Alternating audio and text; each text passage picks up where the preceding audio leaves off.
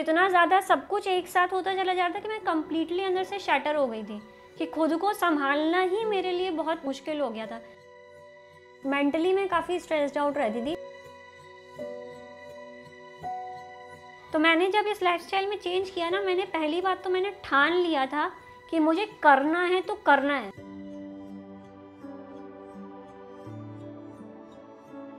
मैंने एक एक दिन जिया है मतलब एक एक दिन मैंने ना ये चीज़ नोटिस की है कि जितना ज़्यादा मैंने अपनी प्राण शक्ति को वक्त दिया है, उतना अच्छे से मैं रिकवर हुई हूँ। तो in around three to four months में मैंने अपनी काफ़ी major conditions constipation piles parenchymal calcification low BP joint pain acidity ये सारे इश्यूज़ को मैंने रिवर्स किया है।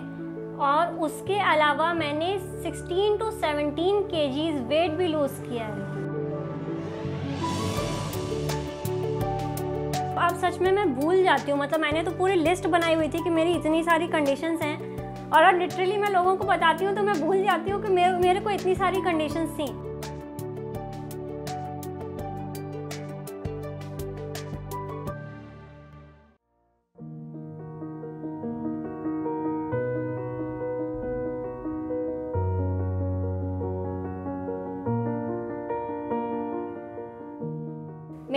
दिशा चोपड़ा है। मैं 28 इयर्स की हूँ और नोएडा में रहती हूँ। मेरी बर्थ दिल्ली में हुई थी। फिर उसके बाद जब मैं पाँच साल की थी तो हम लोग बनारस आ गए थे। तो वैसे तो मेरा बचपन थोड़ा ट्रबल्ड रहा है। डिप्रेशन टाइप रहता था। मतलब मैं डिप्रेशन वर्ड यूज़ नहीं करूँगी बट हाँ एक होता है ना चिड़चिड़ापन और मेंटली मैं काफ़ी स्ट्रेस्ड आउट रहती थी। मैं पाँच साल पहले बनारस से नोएडा आई थी, काम के सिलसिले में। जब मैं यहाँ पे शुरुआत में आई थी, तब तो मैंने छः महीना मॉर्निंग शिफ्ट की। उसके बाद जब मेरी नाइट शिफ्ट हो गई सिक्स टू थ्री उस वजह से भी मेरा स्ट्रेस लेवल और बढ़ गया। अब वो मेरे हेल्थ पे दिखता था कि जैसे कॉन्स्टिपेशन और पाइल्स की प्रॉब्लम मेरी सीवियर रहती थी। मेरा एक तो वेट पुट ऑन होता चला गया, मेरा लो बीपी था, और बाकी मुझे फटीक बहुत होता था अनकॉन्शियसनेस बहुत होती थी मूड स्विंग्स बहुत होते थे, मेरा मूड बहुत ख़राब रहता था। एक नंबनेस जो होती है कि मतलब दिमाग कहीं लग नहीं रहा है, और एक होता है ना कि कुछ करने का मन ही नहीं करता कि सब कुछ छोड़ छाड़ के बैठ जाओ मतलब कहीं चले जाओ या कुछ कर लो। मतलब ऐसे दिमाग में थॉट्स आते थे तो मैं काफ़ी परेशान रहती थी।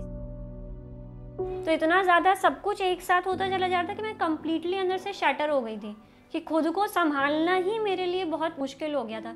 तब मुझे लगा कि नहीं यार, मुझे कुछ तो करना पड़ेगा क्योंकि मैं ऐसे लाइफ नहीं जी सकती। मतलब मैं ऐसी लाइफ जीने के लिए दिल्ली नहीं आई हूँ। लाइफ को सुधारने के लिए यहाँ आई हूँ। मैं इतना ज़्यादा गर्त में गिरने के लिए यहाँ पे नहीं आई हूँ। फिर यूट्यूब पे ढूंढना स्टार्ट किया कि क्या मैं डाइट प्लान्स फॉलो कर सकती हूँ। तो कुछ डाइट प्लान्स तो मैंने फॉलो करने की कोशिश की, लेकिन उससे मुझे कॉन्स्टिपेशन हो जा रहा था। तब मुझे यूट्यूब में ये वीडियो दिखी सुबह जी की। तब मैंने जब देखा कि एक आहार सारे इलाज करके, तब मैंने एक वीडियो देखी, फिर मैंने बाकी सारे उनकी वीडियोस देखी। तो मुझे एक तो वो इतने इजी तरीके से सब समझाती हैं कि आपको वैसे ही सब कुछ ना रट जाता है मतलब ग्रास्प हो जाता है एकदम। फिर मैंने देखा कि इम्यूनिटी बूस्टर वाली जो वर्कशॉप थी, वो मैंने की।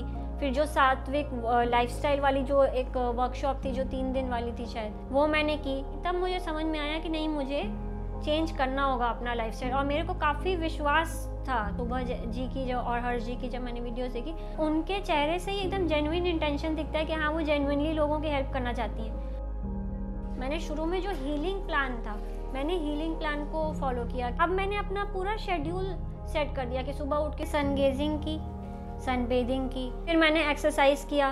फिर उसके एक दो घंटे बाद मुझे जूस पीना है और मैं कोशिश करती थी कि मैं नहाने के बाद जूस पीऊँ। फिर उसके बाद थोड़ी मैं पूजा पाठ करती थी।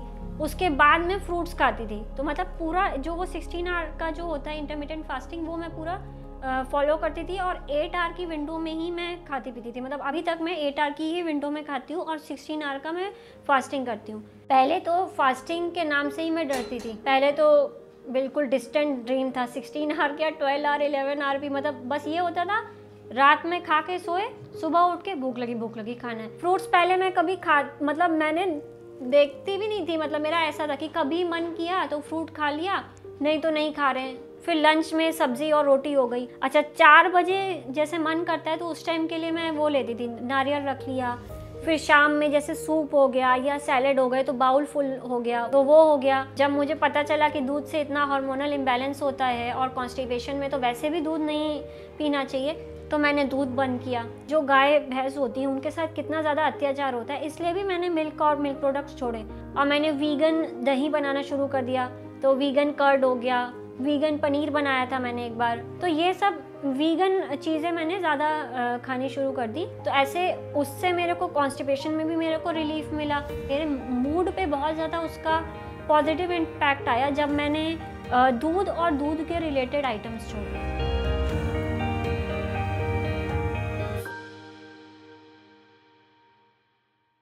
अब जैसे मैं सात्विक लाइफस्टाइल फॉलो कर रही हूँ तो मुझे खुद से उतना रेजिस्टेंस नहीं आया जितना मुझे बाहर के लोगों से रेजिस्टेंस आया।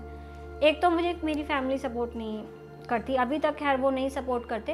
अब एक बार ऐसे ही हुआ था कि मैं कुछ खा रही थी तो भाभी को पता है कि मतलब मैं मिल्क प्रोडक्ट्स नहीं लेती तो वो उन्होंने चटनी बनाई थी, उसमें दही डली हुई थी। और मेरा एकदम से वो हो गया। मैंने बोला, भाभी, मैं तो दही खाती नहीं। तो मैंने चटनी छोड़ दी तो उनको वो बुरा लग गया कि मैंने क्यों चटनी छोड़ दी? कह रही कभी कभी खाने से नहीं होता। मैंने बोला पहली बात देखो बचपन से आप जो चीज़ खा रहे हो वो तो आपको अपने शरीर से निकालनी ही होगी। और दूसरी बात आप चाहे वो एक चम्मच खा रहे हो चाहे वो दस चम्मच खा रहे हो वो आपके शरीर में जाके क्या करेगी आपको भी नहीं मालूम।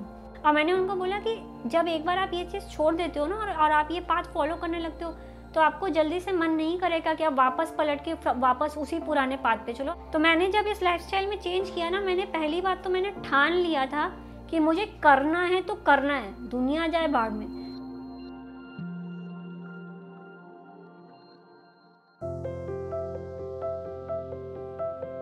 जब मैंने अच्छा अच्छा मतलब लाइट खाना खाना शुरू किया टाइमली मैंने जब खाना शुरू किया तो मेरा कॉन्स्टिपेशन में बहुत आराम मिला। कॉन्स्टिपेशन के आराम मिलते ही आधे से ज़्यादा टेंशन तो मेरी वैसे ही दूर हो गई। मतलब मेरे को इतना मेंटल सेटिस्फेक्शन आया। तो in around three to four months में मैंने अपनी काफ़ी major conditions constipation piles parenchymal calcification low BP joint pain acidity ये सारे इश्यूज़ को मैंने रिवर्स किया है। और उसके अलावा मैंने 16 टू 17 के वेट भी लूज़ किया है। और इसके अलावा मेरी छोटी मोटी और भी मेरे बॉडी में काफ़ी सारी प्रॉब्लम्स थी, जैसे जॉइंट पेन बॉडी पेन मेरे घुटने में काफ़ी पेन रहता था। ये सारी प्रॉब्लम्स मैंने अराउंड तीन से चार महीने में रिवर्स की हैं बाय फॉलोइंग सात्विक लाइफस्टाइल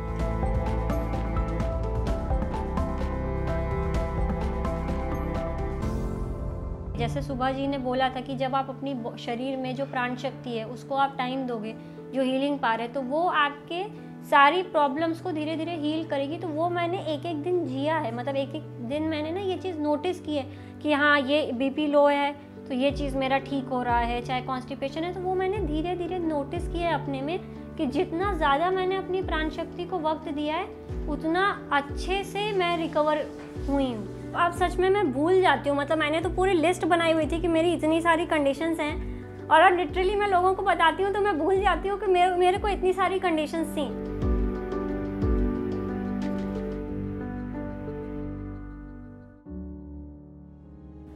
इतना मेंटल पीस जो मिलता है, जो कि ऐसे हमें ना मिलता नहीं है डेली लाइफ में। वो जो सुकून जो महसूस होता है इस लाइफस्टाइल को फॉलो करके लाइफ आपकी काफ़ी सॉर्टेड हो जाएगी, जो कि आज की डेट में हर कोई चाहता है कि मेरी लाइफ सॉर्ट आउट हो जाए, मेरी प्रॉब्लम सॉर्ट आउट हो जाए, मेरी हेल्थ प्रॉब्लम सॉर्ट आउट हो जाए। तो वो सारी चीज़ें ना आप देखेंगे कि वो सारी चीज़ें सॉर्ट आउट होती चली जाएँगी और आराम से एट ईज़ आपका सारा काम होता चला जाएगा। तो लाइफ मतलब जो भगवान ने हमें जो बनाया है ना वो पर्पस आप फुलफिल कर पाओगे। हेलो हरे कृष्णा दिशा जी नमस्ते दिशा जी। आप कैसे हैं?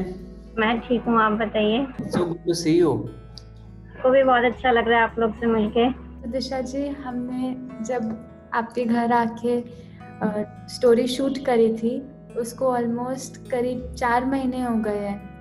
तो आपने तब बताया था आपकी सारी हेल्थ प्रॉब्लम्स एकदम ठीक हो गई थी। क्या आप अभी भी एकदम ठीक हैं? क्या हेल्थ प्रॉब्लम्स अभी भी आपकी रिवर्स्ड हैं पूरी तरह? हाँ जी, मेरी हेल्थ प्रॉब्लम मतलब ठीक है पूरी तरह से, मुझे ऐसा कोई इशू नहीं आता है। ऐसा वो सीवियर वाला कॉन्स्टिपेशन मुझे नहीं रहता है और ऐसे नॉर्मल मुझे कॉन्स्टिपेशन नहीं रहता बहुत रेयरली कभी ऐसे, जैसे मैं कभी कहीं बाहर गई या मैंने कभी मैदा वैदा खा लिया, कुछ ऐसा अगर कुछ खा लिया है जो कि कॉन्स्टिपेशन कॉजिंग ही होता है। तो बात अलग है बट अदरवाइज़ ऐसे मतलब सही रहता है मेरा। ब्लड प्रेशर की भी प्रॉब्लम हुई करती थी पहले? वो सब छू मंतर हो गई है। वो सब तो कुछ है ही नहीं। मतलब वो मेरी तो बहुत लंबी लिस्ट थी हेल्थ इश्यूज़ की। तो उसमें से तो कुछ बचा ही नहीं है। मतलब काफ़ी कुछ था। वो तो पहले ही मतलब एलिमिनेट हो गया है। आपने जो भी लाइफस्टाइल फॉलो किया डिजीजेस रिवर्स करे अपने ये आपका बिना दवाई के हुआ? हाँ जी, मैंने कोई भी मेडिसिन नहीं ली। जब से मैंने सात्विक लाइफस्टाइल फॉलो करना शुरू किया, और मैंने बिल्कुल विश्वास रखा था, क्योंकि शुरुआत में जब आप फॉलो करना शुरू करो तो थोड़े आपको डिटॉक्स सिम्टम्स होते हैं, थोड़ा हेडेक होता है, थोड़ा डिजीनेस लगती है। और मैं पेशेंस के साथ फॉलो कर रही थी, और सब कुछ अपने आप हो गया। मतलब मुझे कोई भी उसके ऐसे कोई साइड इफेक्ट्स नहीं दिखे, ना मुझे बुखार हुआ, ना मैं बीमार पड़ी। नॉर्मल जो थोड़े बहुत डिटॉक्स सिम्टम्स थे वो शुरू में दिखे थे, वो भी शायद एक हफ़्ता। उसके बाद मैंने विश्वास रखा और मैं करती चली गई, करती चली गई। मेरा बॉडी एकदम अट्यून्ड हो गई सात्विक लाइफस्टाइल के हिसाब से। तो अब मैं वैसे ही फॉलो करती आ रही हूँ। और मुझे ऐसा कोई भी मेडिसिन लेने की ज़रूरत नहीं पड़ती है। बहुत बार हम ऐसा सोचते हैं कि एक बार तो इम्प्रूव हो जाता है बट फिर प्रॉब्लम्स वापस आ जाती हैं। तो आपका इसमें क्या कहना है इस बारे में? सबसे बड़ी बात, आपको डाइट और लाइफस्टाइल के बीच में जो डिफरेंस है, वो समझना होगा। क्योंकि आजकल लोग सोचते हैं कि हम डाइट फॉलो कर लेंगे, हम पतले हो जाएँगे। दैट डिफरेंट लेकिन एक होता है कि आप अपनी लाइफस्टाइल में ही चेंजेस कर रहे हो और वो आप अपने पूरे लाइफ टाइम फॉलो करोगे जब आपको उसके पॉजिटिव इफ़ेक्ट दिखना शुरू हो जाते हैं then there is no looking back सबसे पहली बात, हमें खुद पे बिलीव रखना चाहिए। हमें खुद पे बिलीव होना चाहिए कि हाँ हम ये चीज़ कर सकते हैं। और हमें अपना विल स्ट्रॉन्ग रखना होगा, तभी हम सात्विक लाइफ स्टाइल को अच्छे से फॉलो कर पाएँगे और हम उसके बेनिफिट्स को समझ पाएँगे। और वो हमारे लिए भी अच्छा होगा और हमारे आने वाली जनरेशन के लिए बहुत अच्छा होगा।